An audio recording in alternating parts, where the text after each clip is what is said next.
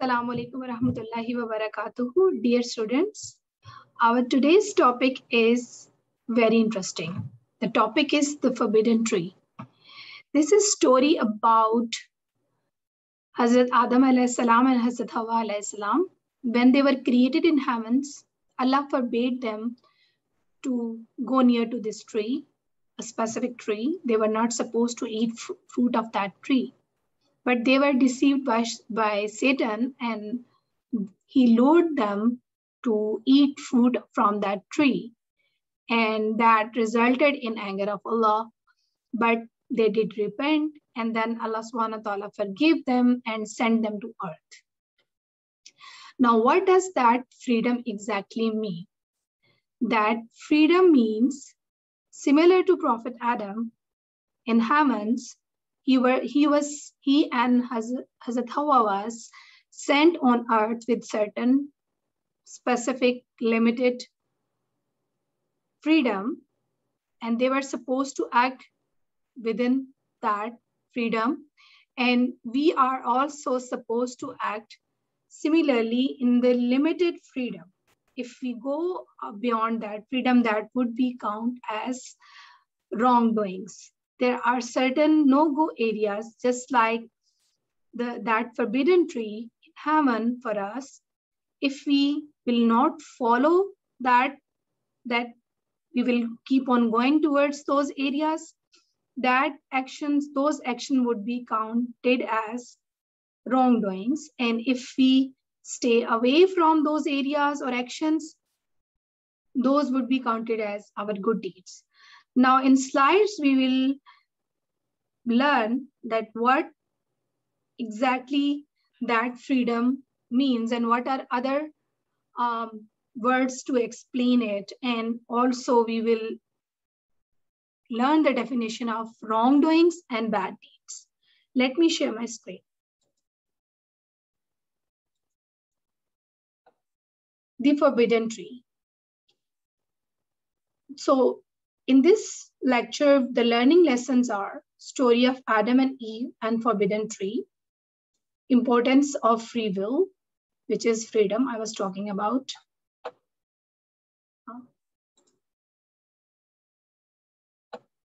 Let me reiterate these points. I think screen was not shared.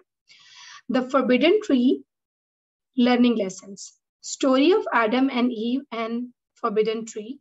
Importance of free will, Human are best creations, creation of Allah subhanahu wa ta'ala. Consequences of wrongful thoughts and actions, reward of good thoughts and actions. These are the important points which we are going to discuss today. Coming to the forbidden tree. The story of Adam and Eve, which is another name of Hazrat Adam and Hawa in English, is common to both the Bible and Quran. According to Quran, God created Adam and his wife, Eve, and settled the pair in paradise. Where was this paradise? The, the Bible is specific on this point. The Lord God planted a garden eastward in Eden, and here he put the man whom he had formed. Genesis 2 8. This was the beginning of the social life of man. God gave both Adam and Eve basic direction. God said, O Adam, Settle you and your wife in paradise. Eat freely from it anywhere you may wish, yet do not approach this tree, otherwise you become wrongdoers. The forbidden tree is one sense was symbol of social taboos, not permitted. Breaking those taboos mean, means involving oneself in social wrongdoing as mentioned in above Quranic verses. So the basically concept is same in Bible and Quran, and those references have been provided on this slide. And this is explanation. When God created Adam and Eve, it was not just creating a pair. Rather, it was creating the first unit of society. Adam and Eve were not created to live simply as pair forever, but were destined to start a generation and form a society in very respect subsequently paving the way, in every respect, subsequently paving the way for building of a civilization. Anything that proves to be harmful to one's fellow men is wrongdoing. So this is basically definition of wrongdoing. Anything which is harm, harm, hurtful or harmful for your own self or for your fellow beings is called wrongdoing. We will read further about it. Adam and Eve were given complete freedom, but their freedom was limited freedom. They were to stop themselves from all activities which would go against their fellow men. In other words, they were forbidden to be in any kind of social wrongdoing harmful, otherwise they would fail to fulfill the divine plan. Now, what was divine plan? The plan which was given by Allah subhanahu wa ta'ala. Allah subhanahu wa ta'ala has a thought in, in his scheme that this is how the world should be. And we they were supposed to follow that plan. Okay. But they were unable to. So Allah subhanahu wa ta'ala made it a lesson for us as well. That if we will go beyond our freedom, we will also earn anger of Allah subhanahu wa ta'ala and we will be companion of Satan. Now, what is freedom? Importance of freedom. Other words for freedoms are free will, free choice, or independence. What does that mean? It's individuals' opportunity to perform an action out, out of many possibilities independently. Which means we can do anything what we want we can do bad or good. We can do good, better, or give our best. I mean, everything is in our hand in certain matters. Of course, we have limitations in, in various roles. If you are daughter or son, uh, you have to abide by your parents. Uh, you have to, if you're in the classroom, you have to abide by your teacher.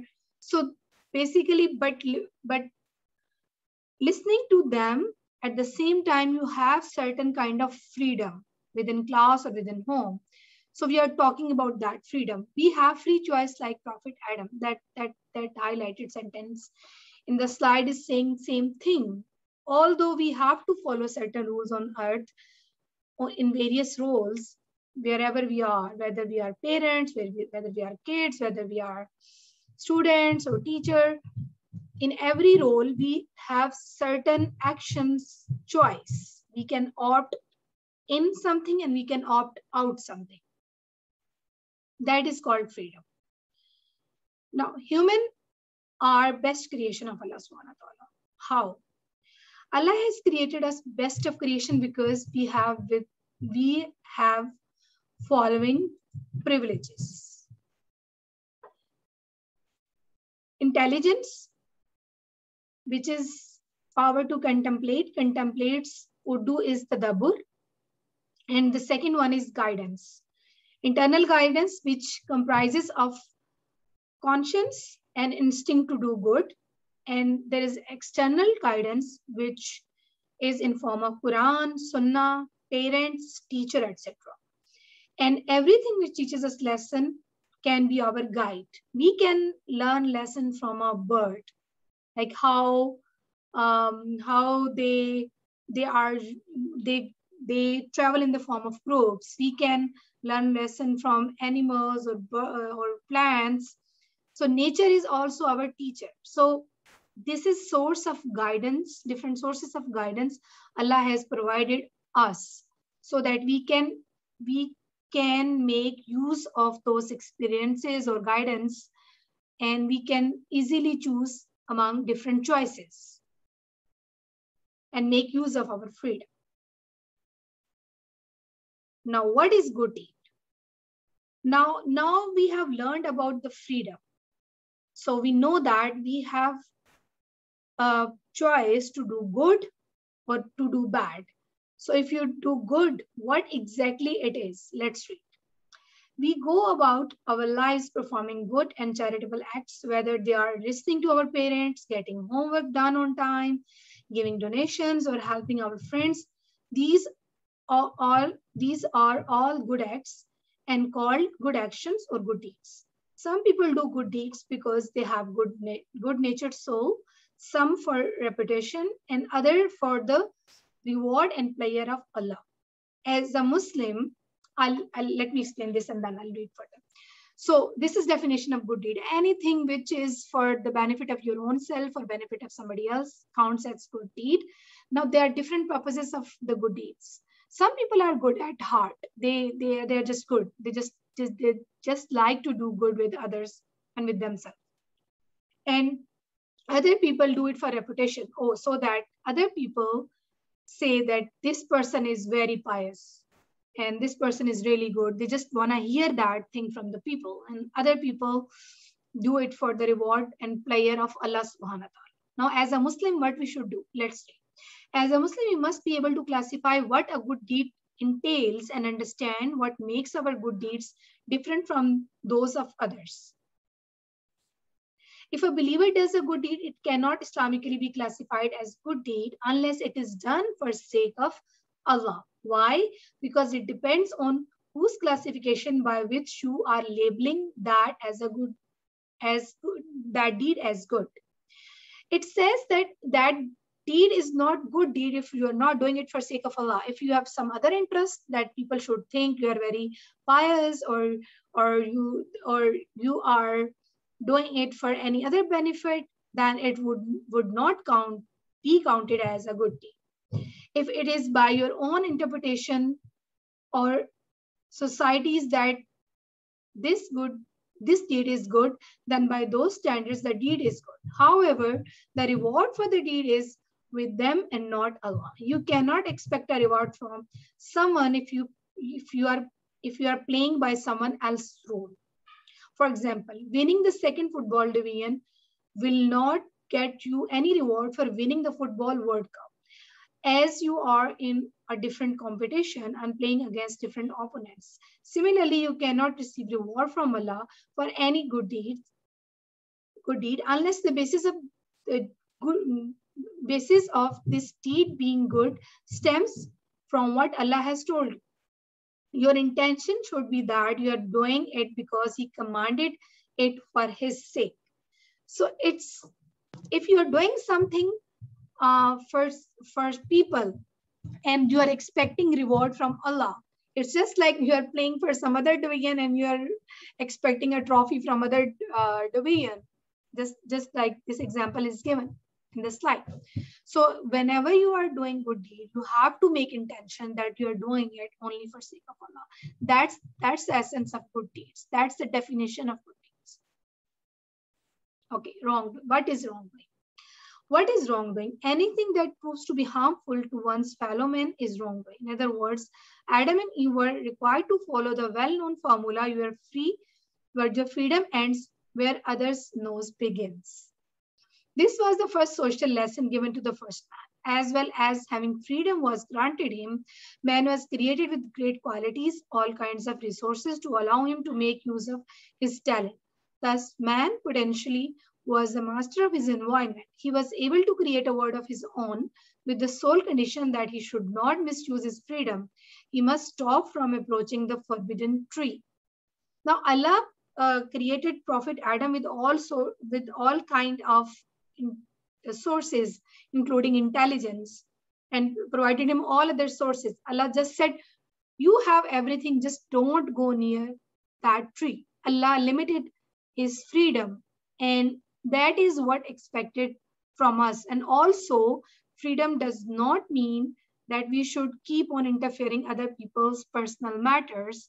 It ends where others another's nose begins means it ends where our personal matter ends and the other person's personal matter starts. So that's the whole concept of wrongdoing. Anything which you are doing to hurt uh, yourself or anybody or anything which is creation of Allah Ta'ala, that is wrongdoing. Moral of story. If the members of society stop themselves from indulging in harmful activities and all use their freedom within their limits, then in such a society, everyone will be able to develop his personality. Moreover, the society will grow in every way for the better.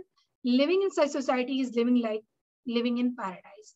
Now, we can think a little bit more about it, that why Allah Ta'ala kept this limit on us, the limit of freedom, limit, limit of free choice, we have free choice, but Allah Ta'ala, why He is limiting us? Because He wants to prepare us he wants to make us personalities who are worthy of living in paradise. Because you must have heard that the people of paradise would be highest in moral. They would be, they would be highest in ethics, morality, and they would be high caliber personality. So Allah Ta'ala is increasing and enhancing our caliber while we are on this earth. So that's the whole purpose of this free will and then keeping the limit on that free will. I hope you understood the concept. I have some uh, pictorial illustrations that how we can do good deeds. Uh, you can help your family members by doing cleaning and some other chores at home. And this is example of wrongdoing. This girl must be uh, forbidden by his mom to not uh, spill the milk or not use the milk or not pour the milk by all by herself, but she did it anyway, and this is the consequence. Sharing is caring. So it is also good deed. When you you're sharing something, you're making someone happy. This is counted as a good deed. Annoying your siblings or friend is a bad deed. If you're, I know you guys are out of this age, but this is just an example for little kids. If your younger siblings are doing something, they're drawing on the wall and they are not supposed to, and they're not listening to their parents, this is also bad deed. Now that, that is end of our discussion and explanation through slides. This is uh, activity for your class and I would request uh, your amazing teachers in the class that please monitor this activity. The activity is you have to uh, write down actions for paradise slash heaven and actions for hell.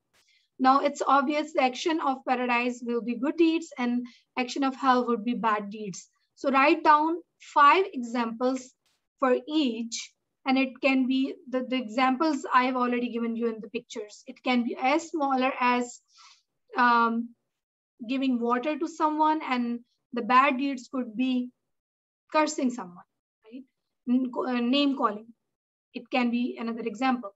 So you have to write down in your own words five actions of each category and your responses will be submitted to me.